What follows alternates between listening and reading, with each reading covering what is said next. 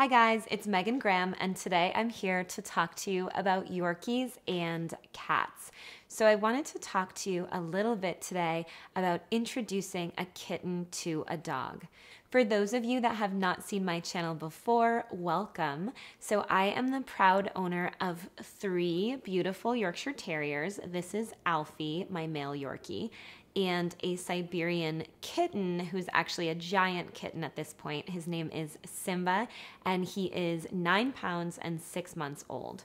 So, one question that I have gotten again and again is how I successfully introduced my kitten to my dogs. And I wanted to go a little bit more in depth here today because there were not a lot of videos when I was searching for how to introduce my kitten to my Yorkshire Terriers.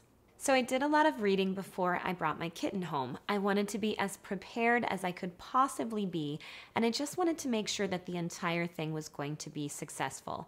One thing that I do want to point out is that sometimes you actually don't know what's going to happen until the situation unfolds. So, when you do bring a new kitten home and you already have dogs, it is really imperative that you are constantly supervising and constantly watching.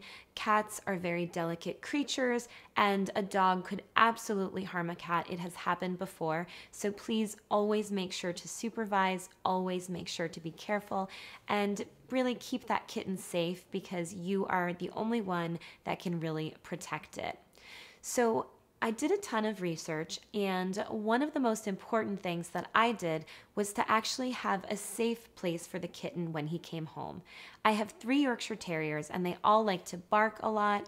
They can go a little bit crazy, and I think that could be really overwhelming for the kitten.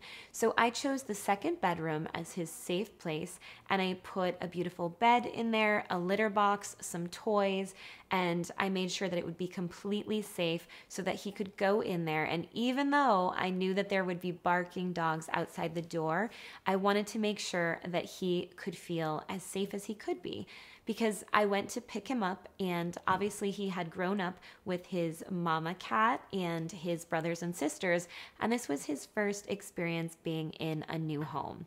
When I first brought him into the house, he was in a carrier, and I was hopeful that maybe my dogs would be friendly when they saw him, but even when I showed the dogs the cat inside the carrier, they went absolutely crazy. So I brought him into his little bedroom, I set him up, and he was really frightened. I think the first night for most of the night, he actually hid underneath the bed, and I just let him do that. Um, I spent a lot of time with the dogs. They were very curious. They were sniffing the outside of the room, and they very much wanted to see him, but I just let him settle in in that room, and I actually had a friend that spent some time with him so he wasn't completely alone in the room.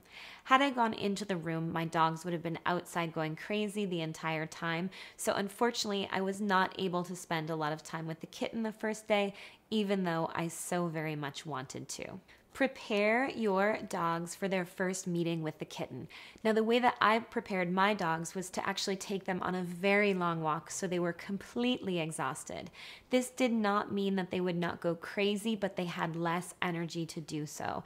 So, you want to prime your dogs and get them into the best state of mind they could possibly be in. So, whether it's doing obedience exercises, connecting with your dogs, giving them a massage, something that puts your dogs into a great state of mind is important to do before they meet the kitten. I personally think that tiring them out is a really important thing. So, the first time that my dogs met the kitten, I actually brought the kitten out to the living room and I have a cat tree where he's completely protected. So, I put him into the cat tree and I basically let the, the dogs just see him in the tree where they could not reach him. I also made sure that he was not going to jump down out of the cat tree because were he to jump down, the dogs would have chased him and it would have been a really frightening experience for the cat. Another thing that some people do when they are going to first introduce their animals might be to use a baby gate or something that would keep the dog and the cat completely separate so they can sniff each other and look at each other, but it is still very safe. So, keeping separation during the first meeting is very important. This is not a process that happens quickly. The first week where I had my kitten Simba and my three dogs, I was honestly very tired and very stressed because I had to be constantly present. I took several days off from work, and when I actually did have to go back to work, I made sure to have somebody that could be at my house to make sure that everybody was safe and everybody was getting along. I wish that I could say that this was a really easy and quick process, but what I do have to say is that this transition is most likely going to take some time, and you have to give it the time that is needed if you want it to be successful.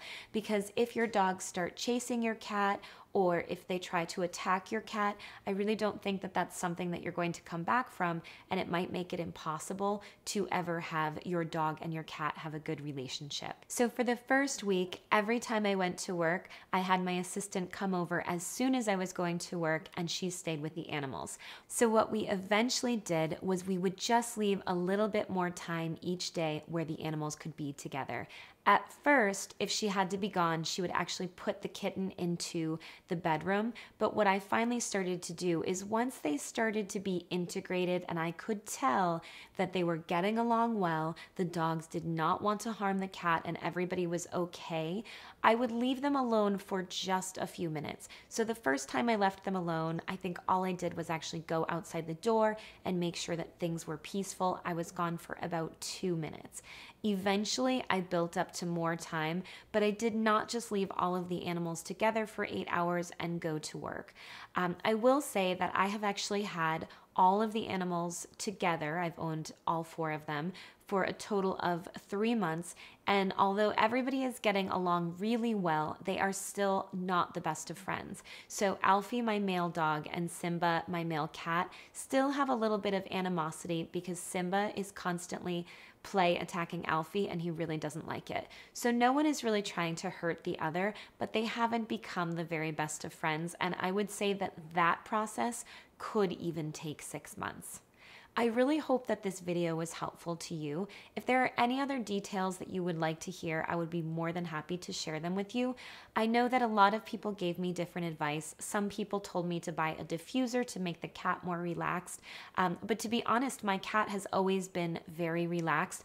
It was really just taking the time to make sure that the introduction was successful, slow, and supervised with every single minute.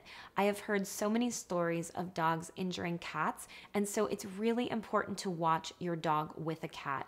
If you've never had a cat before, as much as you might love your dog and you think you have a wonderful dog, it's really important to make sure that your cat is safe and healthy. I'm actually going to show you guys Simba the cat as well.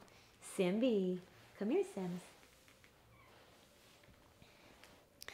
So this is Simba the Siberian, and he is the most likable, gentle, affable cat. He's super, super sweet. And hello, buddy, you are sweet. Um, in the very beginning, it was so funny because Lola, my eight year old Yorkie that has no teeth, was um, she would lunge at him every once in a while and boss him around and tell him what to do. And this sweet little guy never got mad at her. He does try to hit all of the dogs on the bottom as they walk by, and he occasionally play attacks them, but it's all in good fun.